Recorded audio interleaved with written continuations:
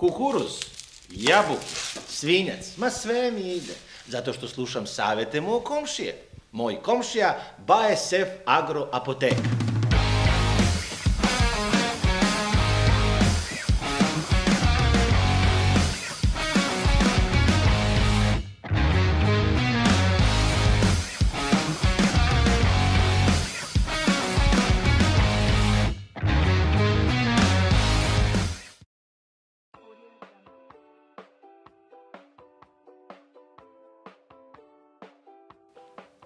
Dobar dan, komšija. O, dobar dan, komšija.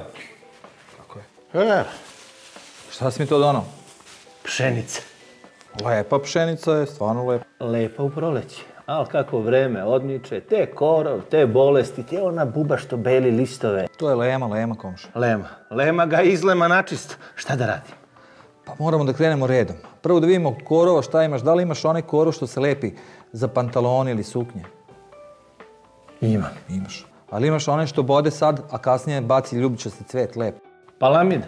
Jest. Palamide imam za izvoz. Mnogo bregadna. Evo ovako ćemo.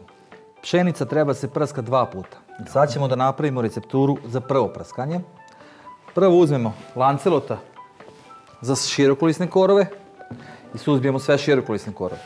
Duet Ultra suzbijemo bolesti koje imaš u pšenici. I on se riješio problem.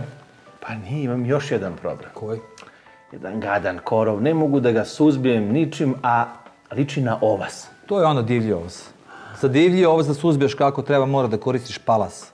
Preparat palas. Da, to mi se nekako i rimuje. Palas za ovas, ovaj lancelot za ove širokolisne, a duet ultra, i to je sve prvo prskanje, tako? Prvo, zapravo. Duet pravo. ultra za bolesti i to je to. Tako je, za prvo prskanje to je to.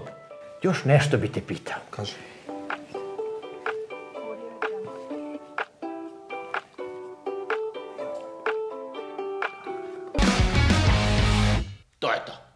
To je to. BASF, the chemical company.